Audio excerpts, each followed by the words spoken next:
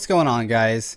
I'd like to take a second to talk to you guys about a Discord channel and a Reddit page that I've been a part of for the last couple months. There will be links for both of them down in the description below. Beginning this month, July of 2019, we are going to start doing a profile of the month competition.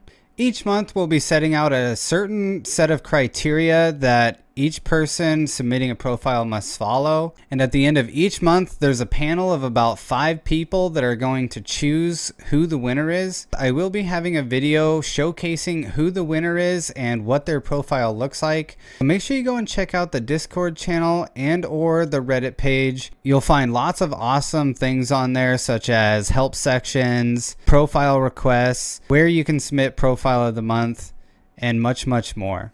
I'm really looking forward to see what you guys have to offer as far as custom keyboard lighting. For today's video, tomorrow is going to be the 4th of July, so I decided to make a profile that's going to be related to that. So what better to showcase than some fireworks? As always, there will be a link in the description below for this keyboard lighting design, but if you want to see exactly how I did it, and maybe get some tips that could help you out with your profile of the month submission, then stay tuned, I'm going to show you just that. This is fireworks.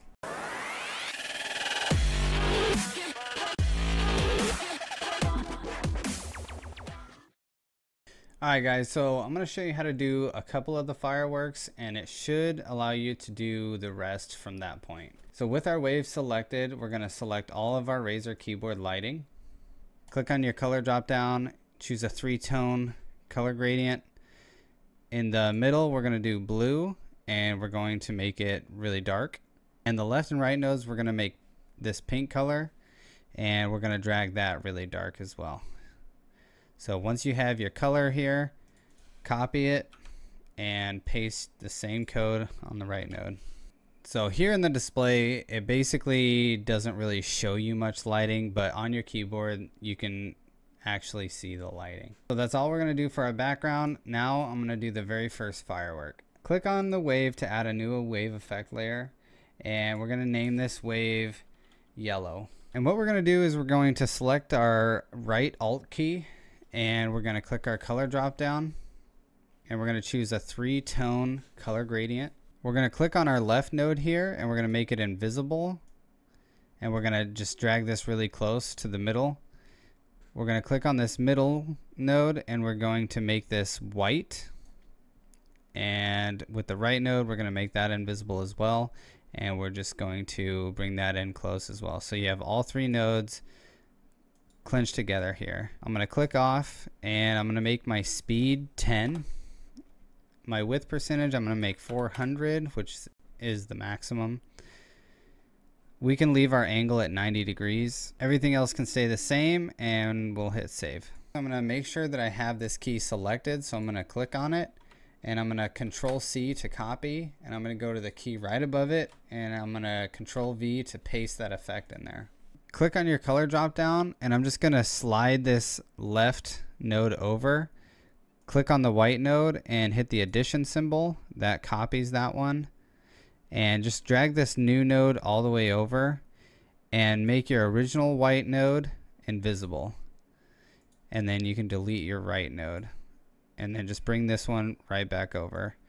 What this does is it slowly moves your wave pattern to the left that way you can make sequence of events or sequence of lighting happen on your keyboard. The first key will light up and then slightly after that, the second key will light up. Looks good. I'm going to hit save.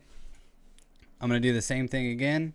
Copy this lighting effect and I'm going to paste it right in above that. Click on your color drop down, do the same thing. Slide that over, copy your middle white node, make your original invisible, delete the right one and snug that in just like that. That looks good. I'm going to do the same thing. And I'm just slowly stepping it over one at a time. So now with this number nine key, what I'm going to do is I'm going to do the same thing. I'm going to copy this over and I'm going to erase the original white with an invisible. But this time I'm not going to close this all the way in yet. And what that's going to allow it to do is when the lighting gets to that one, it'll show this key for a little bit, little while as it fades out. And I'm actually going to use this exact effect just with a different color to create the firework effect. You have an invisible node, a bit of a space here, and then you have a white node and an invisible node. So I'm going to keep this just like this, and I'm going to hit save. And I'm going to copy the effect that I have in this 9 key. And I'm going to make the branches for my firework. So I'm going to hold control and I'm just going to start selecting some branches for my firework explosion. So that looks good to me for my yellow. I'm going to paste in my effect from that 9 key click on my color drop down and I'm going to change the white node to yellow. And I'm not going to keep it yellow. I think I'm going to drag it over here a little bit, make it a little more orangey yellow, something like this right here. I'm just going to check that split button. And now everything should be in sync and we should have what looks like a firework effect in the middle of our keyboard. There we go. So that's a yellow. Now I'm going to show you what you do when you make one more.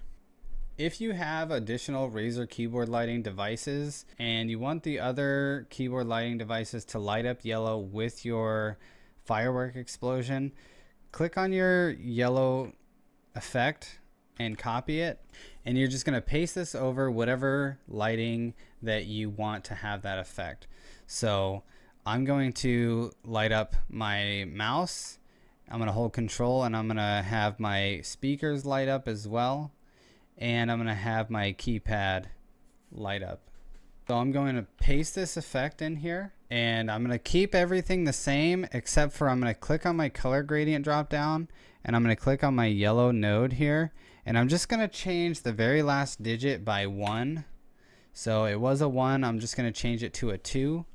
And with my extra peripherals, I just added on the LED strip as well. So um, it'll light up the background of my computer desk as well with it. So what I'm going to do now is I'm going to make another color. So I'm going to just take this yellow layer, right click and duplicate that layer. And I'm going to name this new layer red. I'll make this one red. So I'm going to click on my new effect layer and I'm going to copy this bottom effect that I have for here and I'm going to paste it right here on the down key. After I've done that, I'm just going to select all these keys over here in the middle and hit the delete key. Right now, this key is going in sync with the yellow one. What I'm going to do is I'm going to just offset this a little bit from my yellow. So I'm just going to slide this down here to the left a bit. Now this is going to be the beginning of my red firework. So my yellow one will go off and then my red will follow it. So we're going to do the same exact thing. After we've slid that down the bar, I'm going to copy it and paste it right above. Do the same thing where you move that over, repeat your white light there, make that invisible, and delete. And you're going to do the same exact thing for the red that you did for the yellow. It's just going to be in a different place on your color gradient bar. Alright guys, so here you can see I've already added the red. So the yellow will go up, it'll explode. The red will go up shortly after and it will explode as well. So you just keep doing this and you stagger your fireworks slowly in a different spot on the gradient bar and eventually you'll have different fireworks exploding. And now I'm to go ahead and jump forward to show you guys the reactive, how I did that. Here you can see guys I've added a total of four colors. So I have my yellow, red, and then I added a green and a blue. And I have my sky background. So now I'm to show you guys how I did my reactive. So I'm to go ahead and unhide that. So you're going to want to select all of your keyboard lighting and then instead of choosing a color for your reactive, click on random. That gives it any random color. And then I slowed my speed way down so that the color is visible and it stays lit on the keys for a while before it fades away. And that's all there is to this keyboard lighting design, guys.